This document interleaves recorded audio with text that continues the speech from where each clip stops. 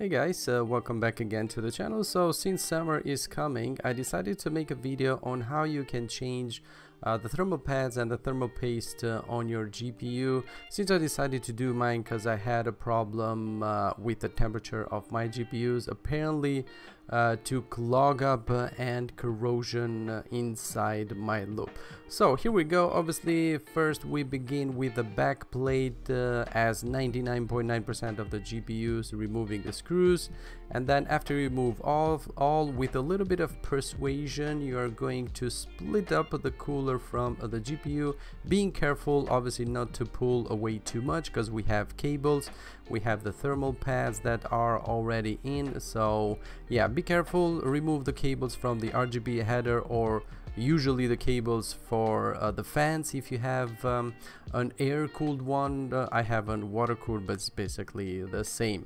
And there you go. Now it is uh, separated as, as, you see. And we begin the tedious pro process of cleaning the GPU and the, um, uh, the memory chips uh, and the MOSFETs and everything where uh, it had thermal pads or paste in it. We need to clean that with um, rubbing alcohol or isopropyl alcohol or 99 uh, over 90% alcohol uh, and, anything would be good uh, for uh, this kind uh, of use.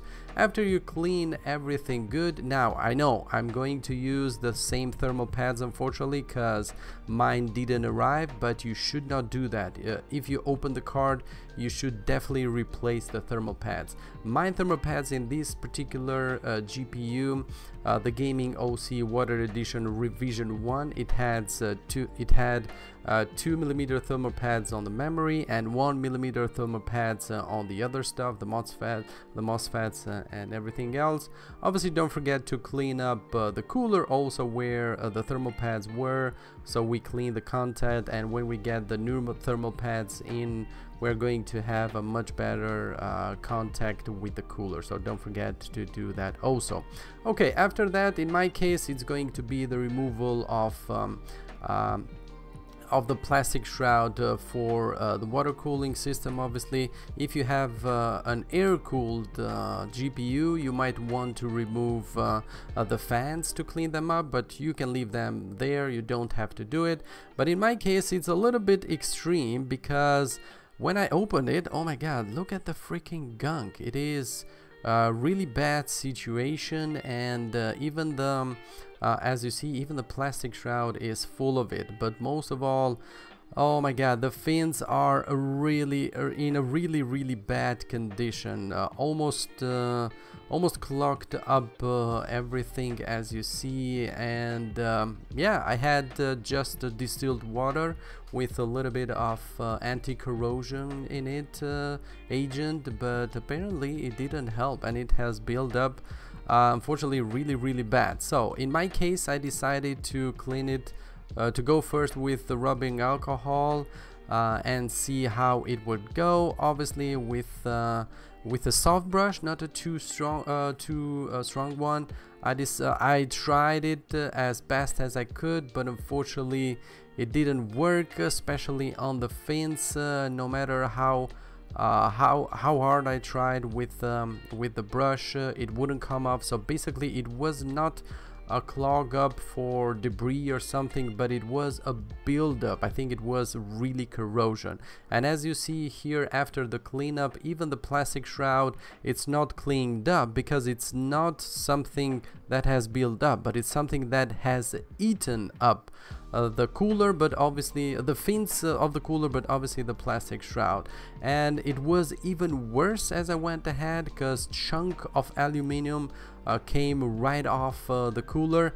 And uh, yeah the situation was really bad. Then I decided to go on internet for a little bit of further investigation. And unfortunately for me I found out that this revision one of this uh, water cooler from Gigabyte was a really terrible cooler with a with a really bad chunk of aluminum really bad coating on the aluminum so basically it was not the problem of my loop and what I had uh, put in it but it is the problem of the cooler. I will leave the link on the video description so you might go ahead and watch it uh, because there are other GPUs that were having the same problem.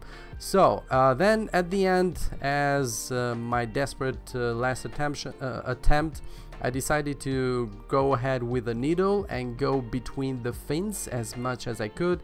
Obviously trying to be as much as uh, possible careful but yeah at the end the damage was inevitable because the chunk of aluminum uh, came out uh, from the brush. So it, it it's uh, really a build problem not um, my problem. So as you see this is uh, the um, the final result. Mm, yeah really bad unfortunately so it means that new cooler is coming up. I have ordered it and obviously i will share the video when the new cooler will come up and hopefully we'll fix this uh, gpu with that cooler.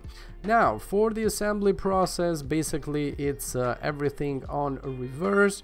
We put in the o-ring uh, then obviously the plastic cooler. One tip that i would give you try not to over tighten uh, the uh, the screws of the of the water cooler because uh, it will uh, it will uh, affect on the water flow. So keep that in mind. And then uh, for the other part obviously as I told you just reverse uh, put in the cooler put in the screws and then obviously the thermal paste. Now for the thermal paste if you use the GPU for gaming I would suggest you spread the thermal paste with a little spoon if you have it uh, but since I use mine for mining I don't use the GPU core so I don't mind. I'm not gonna spread uh, the thermal paste on the GPU uh, because it's fine. I'm not using the GPU uh, core itself actually. But if you use it for gaming you might want to spread the uh, to spread the thermal paste. Okay and after that uh, just be careful not to forget about the RGB header or fan header if you have a fan one and uh, align it as best as you can. Obviously push it a little bit uh, firmly to position and then align the holes uh, to put in the screws and basically just put in all the screws beginning with the screws uh, around the GPU core and then going over the other screws that uh, keeps on the cooler and obviously the back plate uh, in place and basically that's it there you have it guys I hope it was helpful. If you have any question, leave them down below and I will try my best to help you out. And uh, yeah, don't forget to subscribe, like, share, uh, all the good uh, stuff that you guys know. And as usual, I will catch you guys on the next one. Bye bye.